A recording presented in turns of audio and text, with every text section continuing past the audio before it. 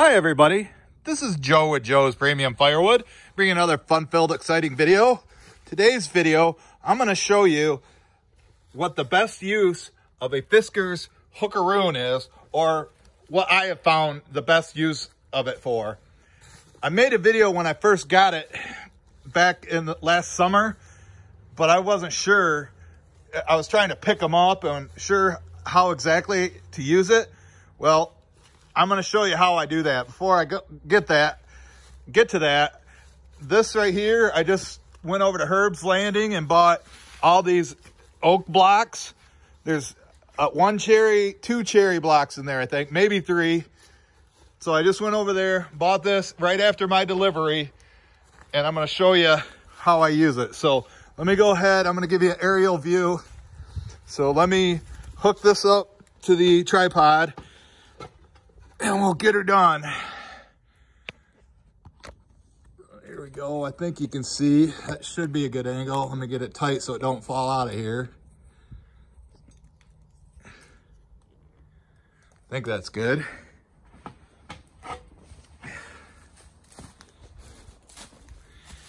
So if this is your first time to my channel, welcome. I make all firewood related videos. I have two firewood channels. This one is Joe's Firewood Videos 2. The other one is Joe's Firewood Videos. If you like what you see on both channels, I would appreciate you subscribing. And if you're a regular here, welcome back guys. You know the drill. We're gonna get stuff done. I don't play games. And uh, like I say, I, have got this, I've got this tool here that the Fiskars Hookaroon that I'm going to use, what I use it for basically is to help me get these logs or blocks out of my truck. Now where did I set my darn gloves? Don't tell me to put them in the truck. Uh, yep. I'm out, I was just about out of this oak. It's what I call semi-season. The way I've been shipping it out, if you watch some of my older videos, is I put ash in the front of my truck and then I put oak here in the back. This stuff, some of it's ready, especially towards, towards the bark, but the center pieces, especially on the bigger pieces, need more time to dry. So right now I don't, I don't need it for this, this row on the back, but I'll show you how, how I normally do it. Oh, and if you're wondering why I'm wearing the same clothes as I did in the video that I published on Wednesday, because today is Wednesday. I'm just not going to publish it. I don't know. You'll either see it Thursday or Saturday morning. I haven't decided yet. But sometimes I make two videos in one day. But instead of re, uh, releasing them both on the same day, I spread it out so you can see a video every day. But normally I only do anyway from uh, one to five videos a week on this channel. And then the other channel, I usually do one or two videos like this. And then I do a Sunday morning live stream somewhere between 9 and 11 a.m. Eastern time.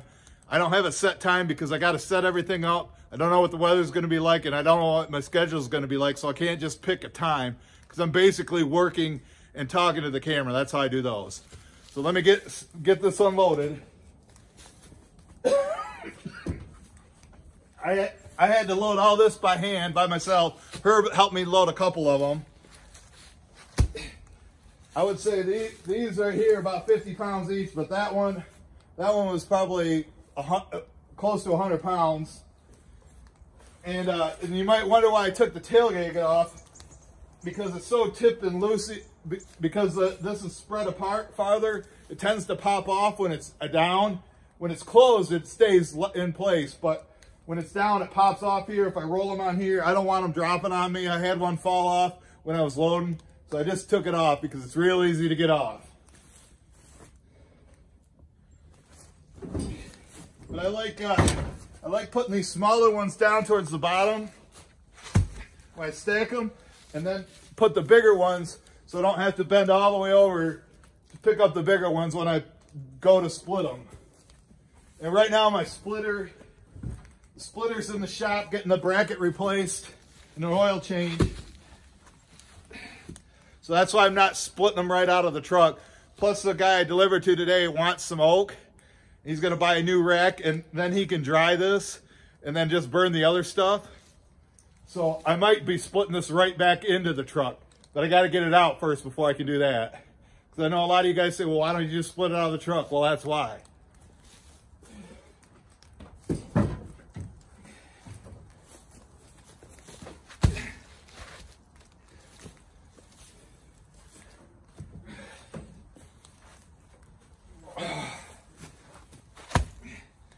It's a mix of red and uh, white oak.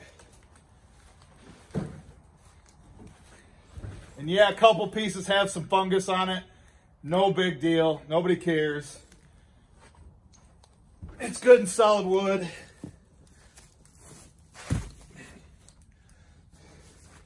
All right, let's get these big ones. This one might, maybe it's not 100. It's probably at least 80 though. Ugh, at least maybe 100 because that's oak. And then this is cherry.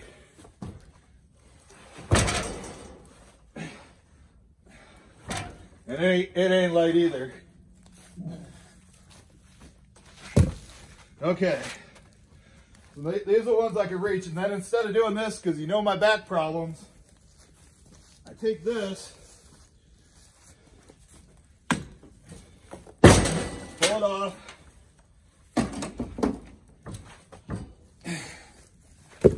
that. Get a good swing, it locks into there real well.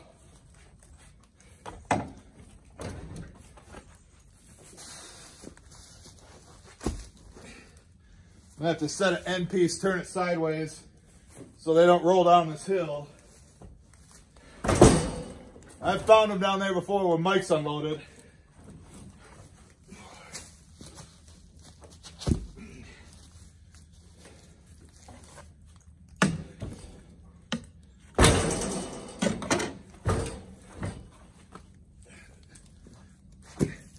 Yeah, Herb's got everything all cut up in massive piles. And they range anything from about eight, 10 inches to like over three foot in diameter. So I had to scavenge around. It took me about a half hour to load this because I had to find the right size pieces.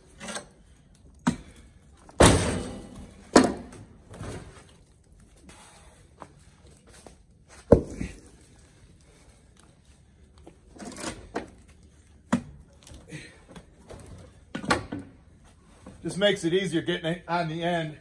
And then just, I can roll it off. Put it on here.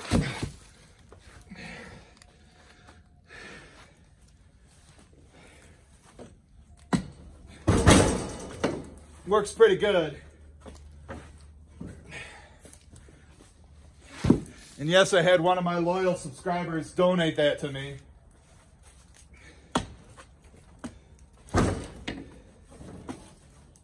I hadn't used it until I started buying these blocks off of Herb.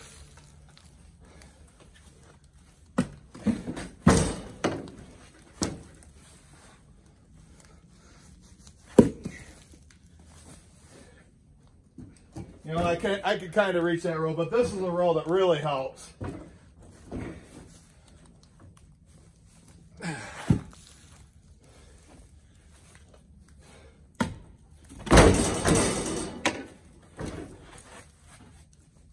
See how easy that was?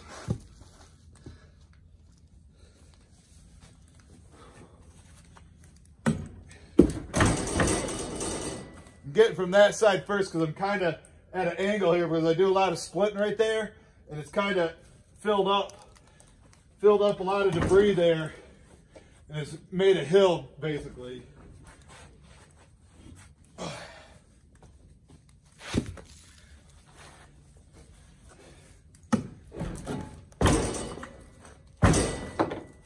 But it just gives you that extra, you know, 30 inch reach. And I said, you, you know, that means Pam needs to take a shot of Pendleton.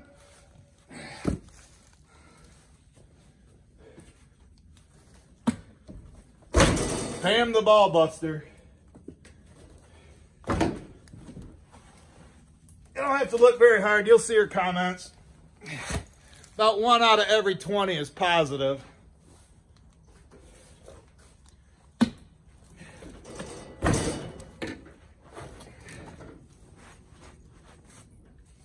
But she's not a hater.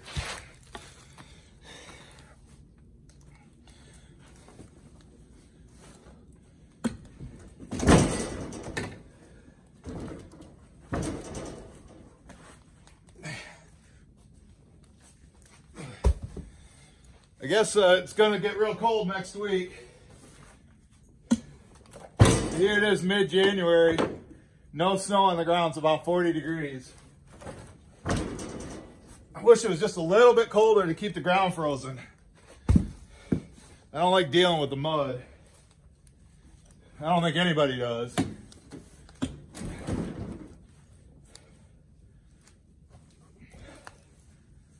Well, you get it in there good, it don't want to come out.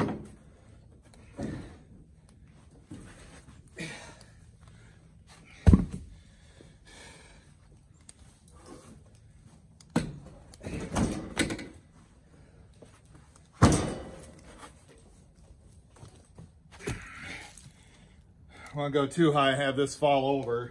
So I started that second row. Now, this last row, I really can't reach. So a couple of these, this piece of cherry, I'll just have to grab, you know, I can grab from here.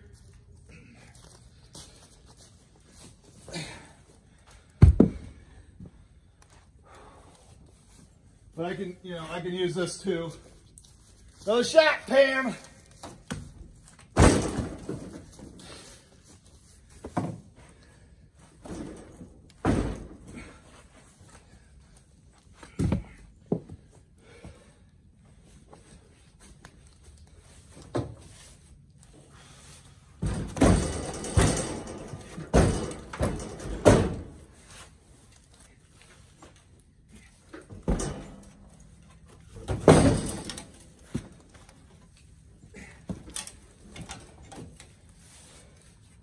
Get them move forward so I can uh, reach them with this or just re generally reach them.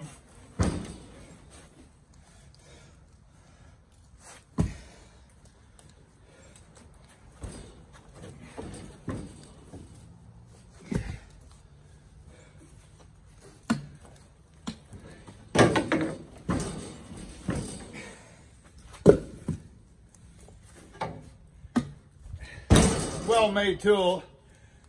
I don't see where it says made in China on it. So a lot of people were saying that. I thought they were made in Finland.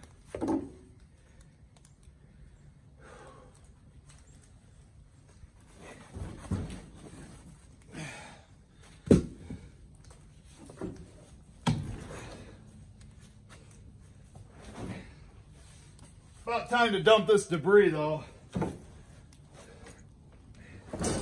Maybe after tomorrow's uh, delivery to the campground.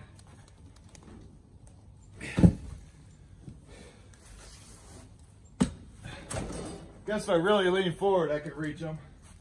That's without the tailgate on here. So that does help too, because normally with the tailgate out here, there's no way I'm reaching those.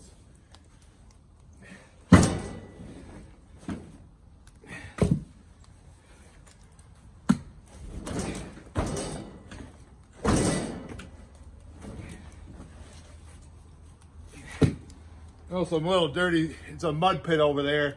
Pieces are on the bottom, we're just covered in dirt. But it doesn't matter now because they don't have to be cut.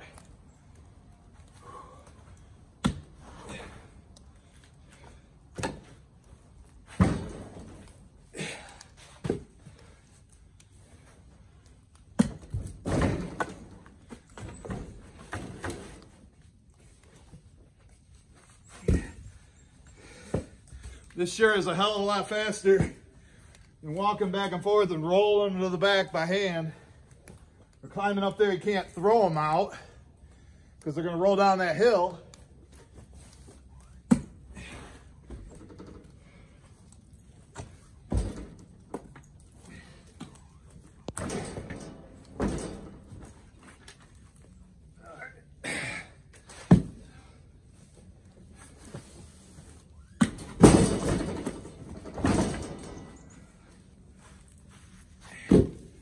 Last one.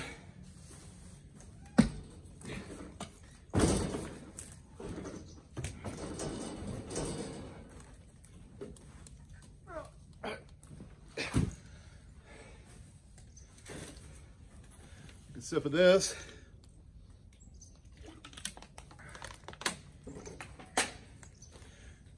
That's how you use a Fis Fiskars Hookaroon. And thanks again, Dan, for getting it for me. Really appreciate it. Why don't you guys check out some of these videos on the end screen for those of you that made it to the end. I don't want to mention names because a lot of you guys do. Just some names are easier to remember than others. All right, I hope you enjoyed the show. We'll see you guys at the next one.